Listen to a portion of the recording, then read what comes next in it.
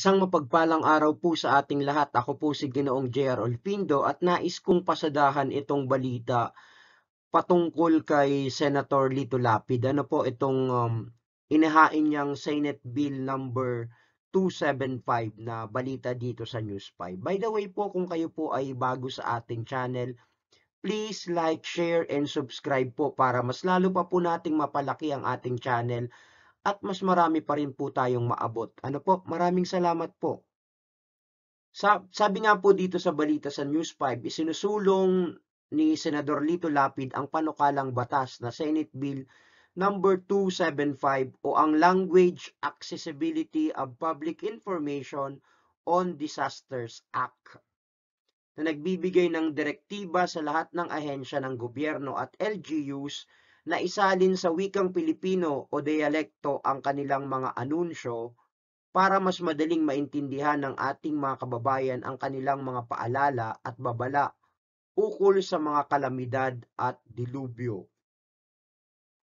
So tuloy natin, mahalagang maging accessible sa lahat ng ating mamamayan ang mga announcements at advisories, hindi lamang sa mga nakakaintindi ng Ingles o Tagalog, sa panahon ngayon na maraming bagyo at mga pandemya na tumatama sa ating bansa, higit na lalong importanteng maintindihan ng publiko ang mga announcements at issuances ng ating gobyerno upang mapaghanda, makapaghanda sa sakuna.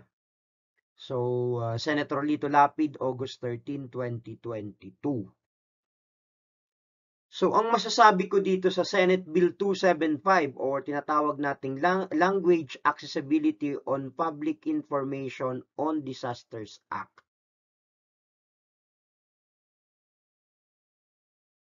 Ang pinupunto dito ng ating mahal na senador ay uh, patungkol sa information dissemination. Ano po? So, uh, patungkol sa information dissemination ng patungkol sa disaster, sa mga kalamidad at dilubyo. May punto pero anong problema sa wikang Tagalog at anong problema sa wikang Ingles? Di ba?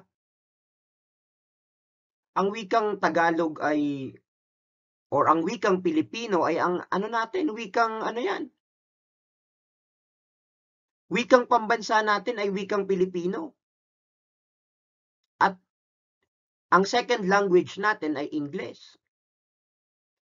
Kasi nga ang Pilipinas maraming dialekto, kaya sabi ni Manuel L. Quezon, gagamit tayo ng isang wikang Pilipino, wikang pambansa, para mapag-isa natin ang mga Pilipino.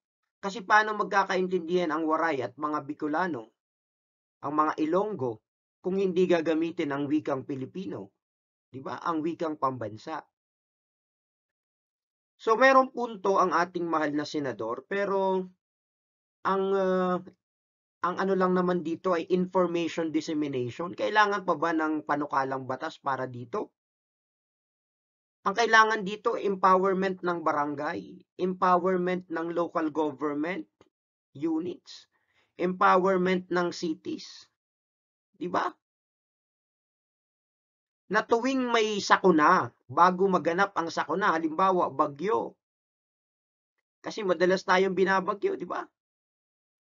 Ay uh, meron ng kikilos na ang barangay kasi nandyan ang ano eh, ang unang mag-aabiso dapat sa'yo, barangay. Di ba? So at, at kakausapin ka nun sa wika na sa wika na may intindihan mo yung barangay, di ba? Information dissemination lang naman ito mga kapatid. Nandyan yung ating media. Diba? Ang uh, ating uh, TV networks, ang radio networks, di ba? So sa tingin ko napapanahon ba itong batas na ito? Ang dami-dami nating problema, ito ang pagtutuunan ng ating mga uh, kagalang-galang na mga senador. Pagsasaling ng uh, sa wikang Tagalog o wikang dialekto ng mga announcement patungkol sa kalamidad at dilubyo, di ba? Magpapasok na tayo. Maraming kakulangan ng classrooms, di ba? 'Di ba itong mas magandang pagtuunan ng gobyerno, ng ating mga mambabatas, maraming mag-aaral ngayon ang papasok sa eskuwelahan at may kakulangan ng classrooms, 'di ba? So mas maganda dapat ito yung mga bills na binibigyang pansin. 'Di ba? Ang language poverty rate ng bansa or tinatawag nating learning poverty rate ng bansa. 'Di ba? Sa eduk sa sektor ng edukasyon. 'Di ba? Ang mga sa ulat ng World Bank, 'di ba? Tayo ang pinakakulelat sa learning poverty rate sa Asia. So 'di ba itong mas magandang pagtuunan ng pansin kung paano mareresolba ito? 'Di ba?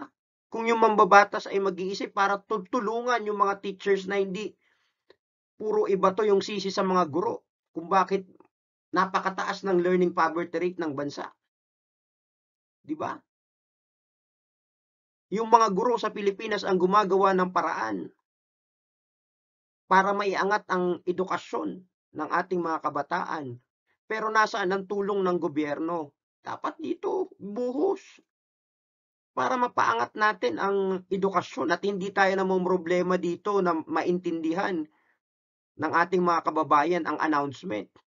Kasi kung sa kung sa school pa lamang ay magagaling nang magbasa ang ating mga mga bata, 'di ba? Before 10 years old.